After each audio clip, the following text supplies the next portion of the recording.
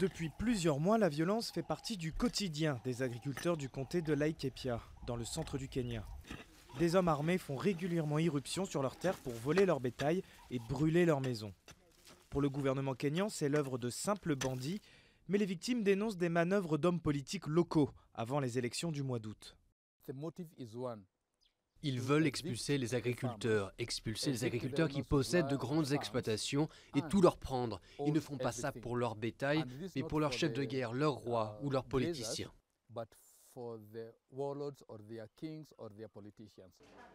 Au Kenya, les électeurs votent souvent selon leur ethnie.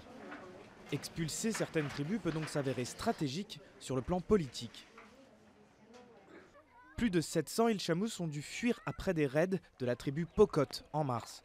Coincés dans un camp de réfugiés loin de chez eux, ils ne pourront pas aller voter.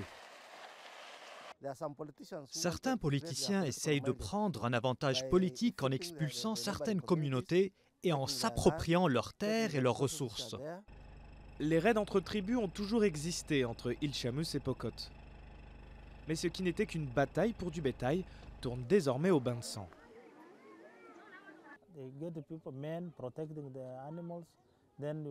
Des hommes ont toujours protégé le bétail et lors des raids, certains finissent par se faire tuer. Mais c'est assez étrange de voir que maintenant, ils tuent femmes et enfants comme ça, sans aucune pitié. Si les Pocotes et les hommes politiques issus de leur rang sont tenus pour responsables de ces exactions, ils ne sont pas épargnés pour autant. La tribu a récemment accusé le gouvernement de mener une opération militaire à leur encontre de façon disproportionnée. Trois de leurs chefs locaux ont été tués ces derniers mois.